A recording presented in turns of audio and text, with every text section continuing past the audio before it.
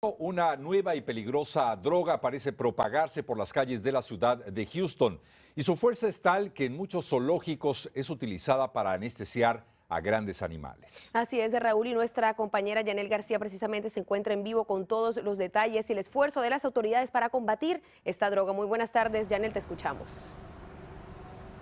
Gracias, muy buenas tardes Raúl y Marcela. Se trata de la droga carfentanil, una mezcla mortal para el consumidor más fuerte que la heroína. Carfentanil, la droga utilizada como sedante para elefantes, se ha convertido en el nuevo problema para las autoridades locales de Houston. De acuerdo a la Administración para el Control de Drogas, este opioide sintético es aproximadamente 100 veces más fuerte que el fentanilo, el cual es 50 veces más potente que la heroína. Las autoridades expresan que los narcotraficantes la están mezclando con otras drogas, algo que fácilmente podría resultar en la muerte del consumidor.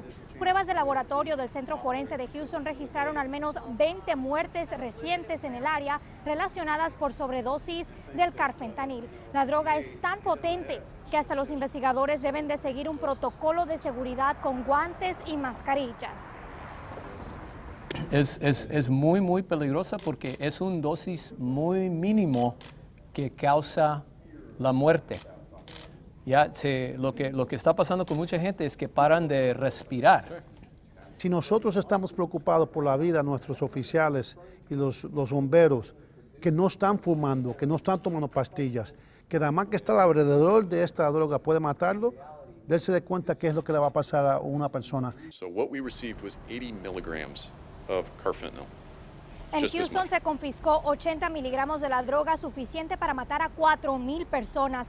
La DEA informó que esta droga ha sido detectada en más y más comunidades disfrazada de heroína. También informaron que no solo ha aumentado su presencia aquí en Houston, sino también en el país y piden a toda la comunidad tener mucha cautela con esta droga, ya que también puede estar disfrazada en pastillas. Reportando en vivo para Noticias 45 Houston, Janel García.